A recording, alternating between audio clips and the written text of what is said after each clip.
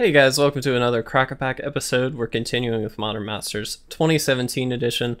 Uh, we hope you guys are enjoying this series. Uh, if you have any pack suggestions or things that you'd like to see, uh, please feel free to comment down below and let us know.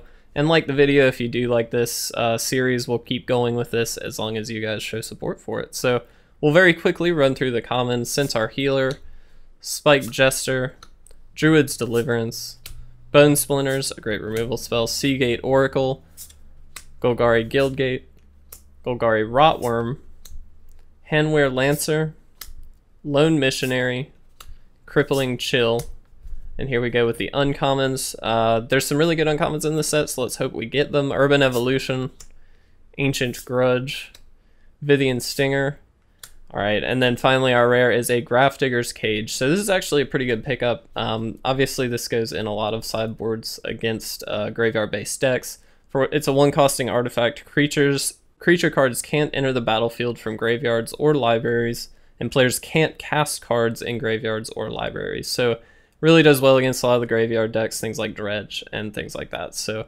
happy to see that. And then we have a foil Goblin Electromancer, which is a pretty cool foil. Uh, really great artwork on that and then a golem token. So again, guys, we appreciate the support you're showing with this. We hope that you continue to, to enjoy this and continue to like and comment.